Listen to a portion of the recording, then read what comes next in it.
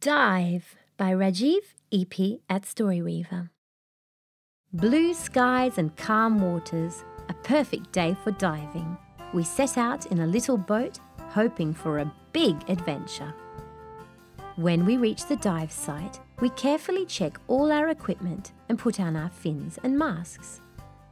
As soon as we are underwater, we are greeted by a school of yellowback fusiliers. There are so many different creatures to see around this large table coral oriental sweetlips, parrotfish, batfish, and even a beautifully patterned nudibranch. The trumpet fish changes colour to try and blend in with a school of yellow tang, but can you pick him out easily enough?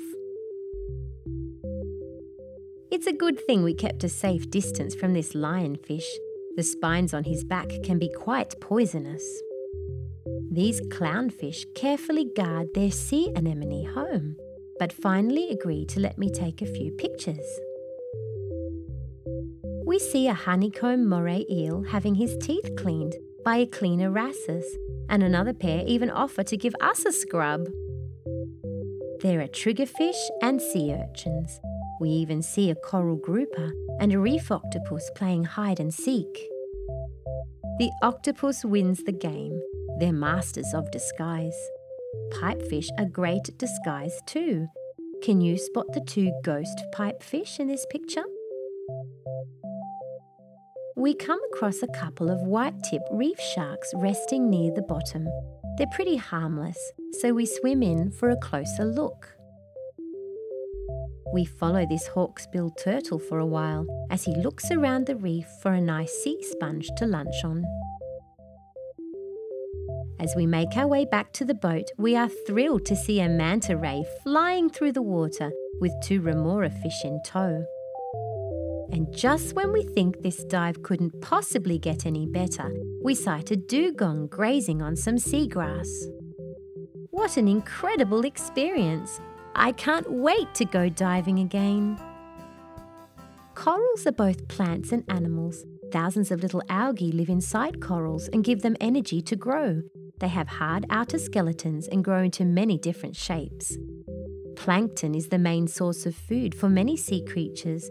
They are a mix of algae, bacteria, tiny animals, and the eggs and larvae of larger animals that float about with the ocean currents. Feather stars may look like plants, but they're really animals. They use their feather like arms to catch and eat bits of floating plankton. Parrotfish have strong teeth that form a parrot like beak, which they use to scrape algae off hard coral. Some species don't mind eating bits of coral as well, and they later poop out a fine bit of sand that washes up on land to form beautiful white beaches.